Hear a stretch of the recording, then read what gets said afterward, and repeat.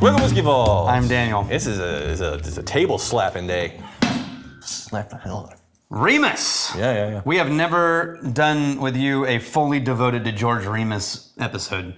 We've used it as an A/B comparison, uh, and ironically, Revis gave us the Remus bottle. Renita But- Revis. Yeah, yeah. But Revis. this one was a. Uh, I got your back, Renita. Yeah, there you Revis. go. Yeah, yeah, Revis. um, Mark Hamilton, the magnificent bastard, contributed to today. Mark Hamilton, you magnificent bastard.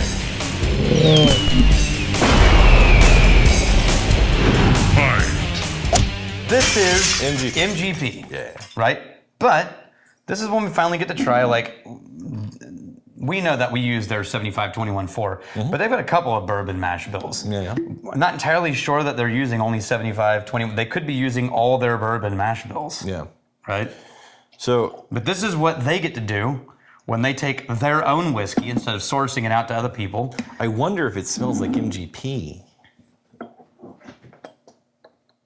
Hey. Hey, it does. It's a little more oaky than the normal ones we use. I'm not getting a lot of that chocolate citrus or chocolate orange note. It's a 47%, Yeah. 94 proof. Yeah. I get It's a uh, little more dry. Yeah. A little cinnamon. Is that clove? A little clove? Yeah, absolutely. This is a higher rye forward mash bill, right? And so that's what That's the that's what Mark Hamilton was asking. Do- 21%? well, again, we don't know. They could be mixing their own barrels. Yeah, yeah, yeah. Yeah. Hmm. Now, their single barrel releases of this one, I think, were the 75 21 4. They might have kept it all that. Yeah. But I don't know that. And then, yeah, there's the oak in there. It's in the back. It's, it's consistent throughout this underpinning of that wood. It's nice. This dude's story is batshit crazy, ooh. man. Now there's a little vanilla prancing and scampering over the top there. You get that little vanilla? I think it's funny to choose George Remus as a hero because he was a big personality in bootlegger history, Mm-hmm. but he also shot his ex wife in a park Yeah. outside of a courthouse Yeah. and then pled insanity Yeah. and got off. Yeah. That took the jury less than 20 minutes. Yeah. to say not guilty due to insanity. Yeah. He did get sent to a mental institution. Yeah. Seven months later, they're like, he's cured. and they let him out again. Oh, Remus. Get all. What a scamp. Lord. What a scamp. I mean, that's a whole new defense. You know, bitch made me crazy. Uh, yeah, I like the nose, but we know this. We've, we've done MGP before. Yeah, but I like getting to see What they would do with what their own they barrels. choose. Yes. Yeah. And you know what I want to compare it to? Not another MGP. You- it- so the weirdest thing's happening right now. I'm nosing, I'm nosing, I'm nosing. This is a nice nose. But it's whenever I say a couple of sentences and then hit the nose, Yeah. I get this creamy vanilla note that I don't get if I'm just sitting there living with it planted in the nose. I haven't tried that yet. Yeah, like I'm talking, saying words with my face, blah, blah, blah, blah, blah, blah, blah, blah, blah, and then hit it. Oh, yeah. Almost, uh, Now there's that vanilla. almost, um, like, uh, not rubbery, but like Yeah. manufactured vanilla. Yeah, it's like you, you have to exhale quite a bit, and then on that inhale, then you can pick up this vanilla note. Yeah. I want to compare it to another high rye bourbon that's super classic. Okay. Old Granddad. Okay. Yeah.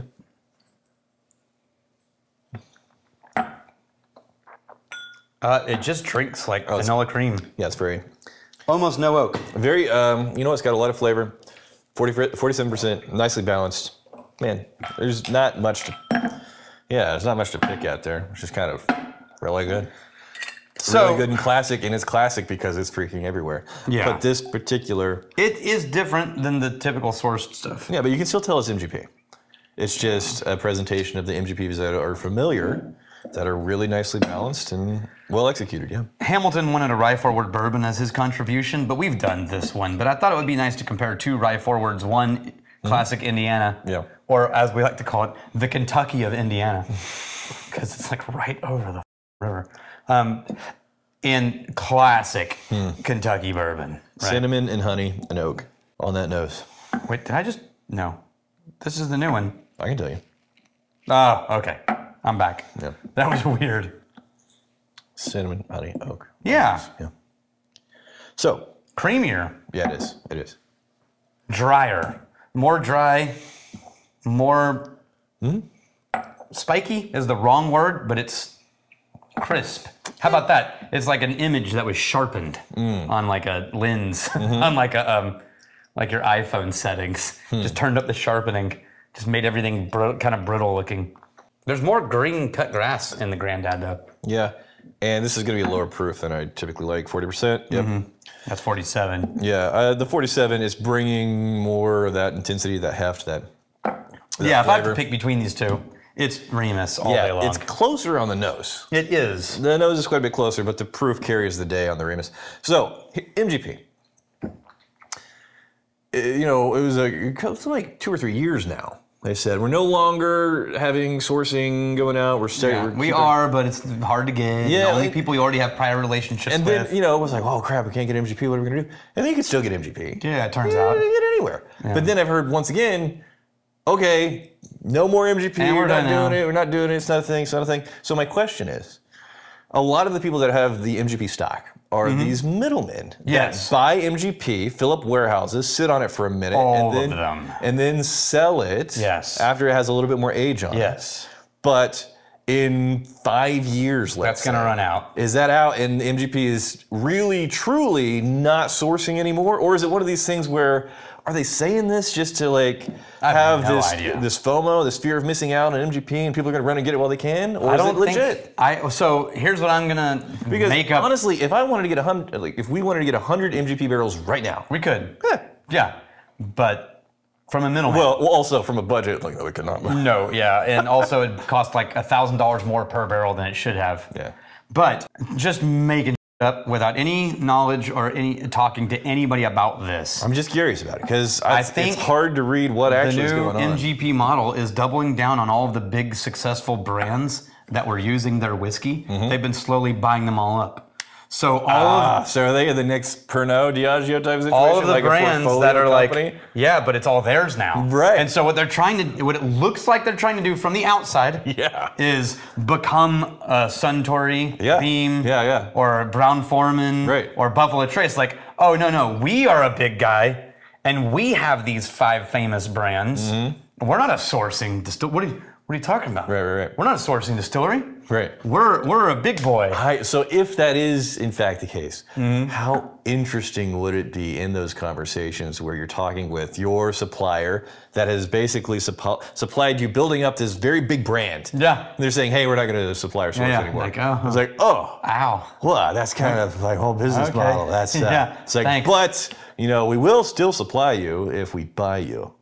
Yeah, it's like, oh, well, uh, okay, I guess. but So look, you can either not exist On the other hand- or get bought out.